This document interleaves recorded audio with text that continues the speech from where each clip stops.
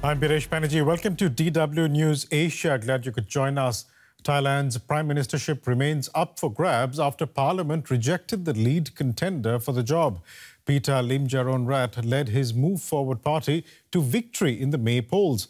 But his promises to reform laws governing the monarchy have placed him at odds with Thailand's conservative polity, especially the 250 members of the military appointed Senate, most of whom did not support his candidature. Still, he says he's in the running and Parliament will vote again next week. Here's more on the man that would be Prime Minister. At the age of 42, Pita Limjaroenrat is 30 years younger than Thailand's current leader. But there is one other key difference between them.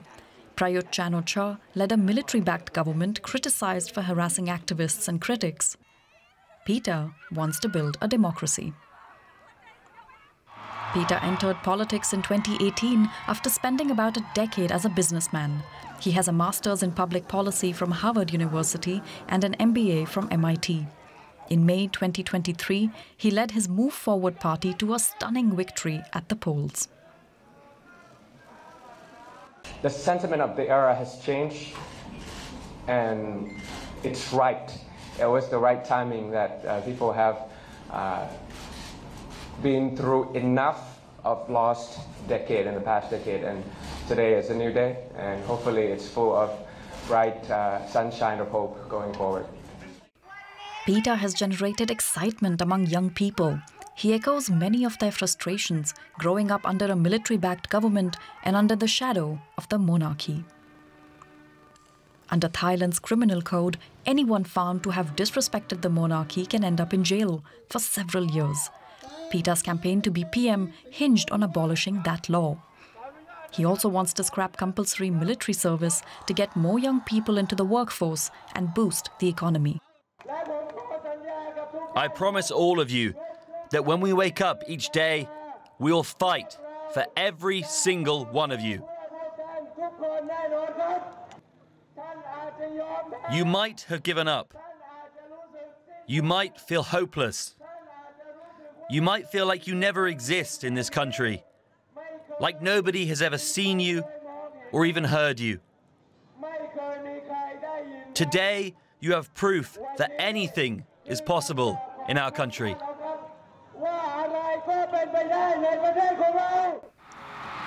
Since winning at the polls, Pita has faced many hurdles. Among them was a call from the Election Commission to suspend Pita for allegedly breaking campaign rules, which would essentially block him from becoming PM. But the man driving Thailand's demand for change seemed unfazed. I want to send this message to the people. If you're not backing down, I will not back down as well.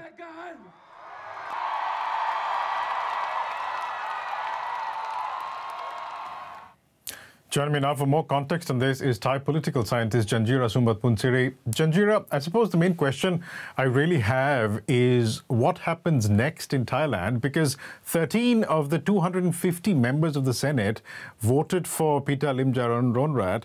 Now, given his election promises, can he at all receive more support from the Senate by next week? Well, there are a few scenarios. Um, what is quite likely uh, within next week is that there may be another vote for um, for him. Um, and this time, I think um, between now and then, there could be some negotiation whether or not um, the party move forward can revise its policy promises, especially regarding um, the royal defamation law amendment, um, and I think if um, that is possible, there could be more votes for Pita. So that's next week. But I think um, the dilemma for the party right now is that um, this is a very one of the first non-conformist uh, parties in Thailand, which is very uplifting. But a downside is that I'm afraid that the party would not want to compromise its policy stance. So that would create another parliamentary crisis. And I think the second scenario could be that Pheu Thai might step in to prevent any formation of the minority government, so to speak, which basically is the um, the, the ruling party uh, coalition from the last government. Isn't it in Pheu interests as well that uh, Move Forward potentially forms the government so that Thailand sees some sort of uh, political change and reform? Absolutely. Um, I, I, think it's, it's um, difficult for Pheu to advance its interest because um, it's actually not Pheu character and the party may lose popularity amongst its constituents to basically be seen as betraying um, move forward right?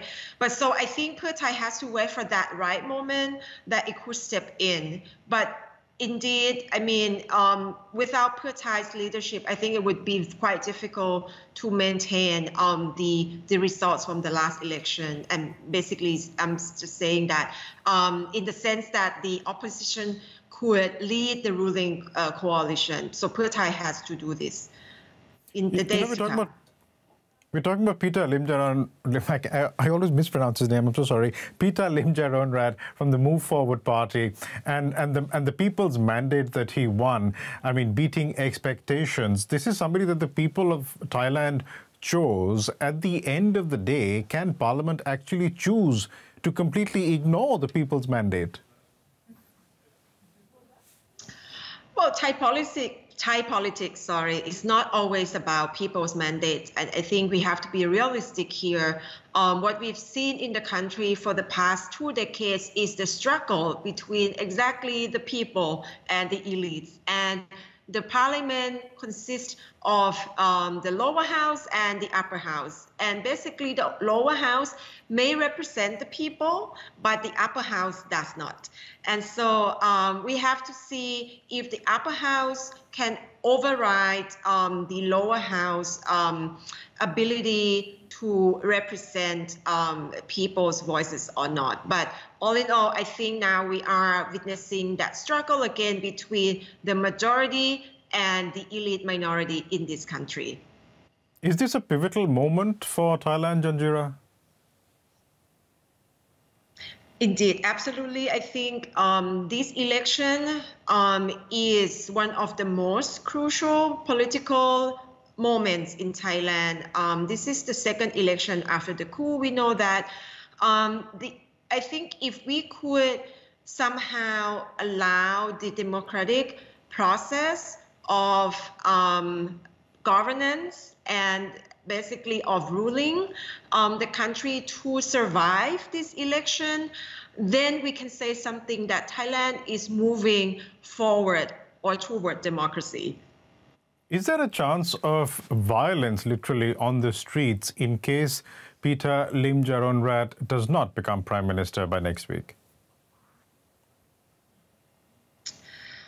I'm afraid um, I don't want to use the word violence. Um, and to be clear, um, Move Forward supporters have been um, uh, protesting, um, basically engaging in street politics without violence for, for years. Um, of course, we would see the return of street protests.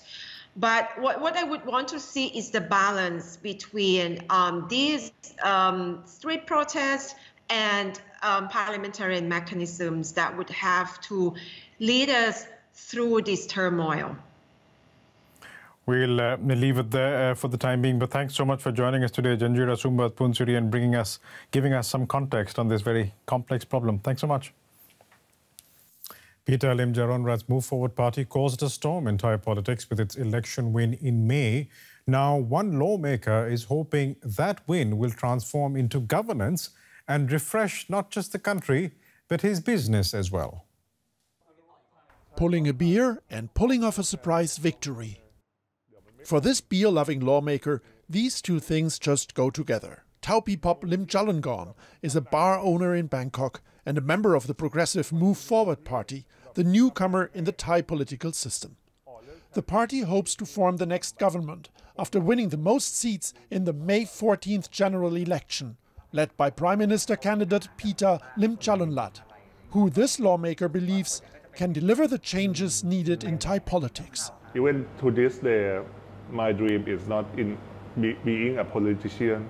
I want to be a brewer.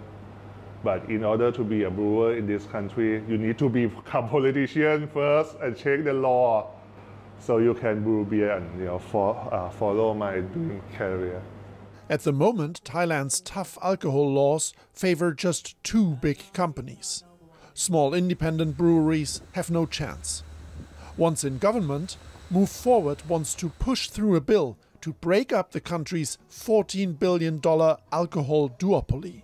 The party's reform plans are so ambitious that experts give Move Forward only a small chance to make it into government.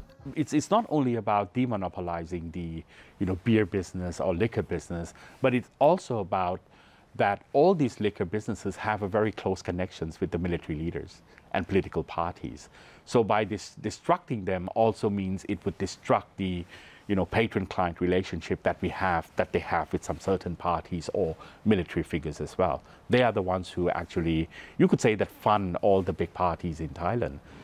The party's plan to reform Thailand's royal defamation laws is also controversial. It's another key reason why Pita Limjaroenrat's coalition faces resistance from the military-appointed 250-member Senate. In a first vote, the Move Forward leader failed to secure enough votes to become the new prime minister. In the upper house, only 13 senators voted for him. If it's a win all or lose everything situation, because if we lose this time, the establishment will stay in the power like for long, and you know they will get rid of people hope for change.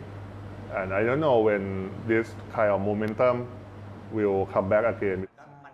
The microbrewer turned politician says this is a turning point in Thai history.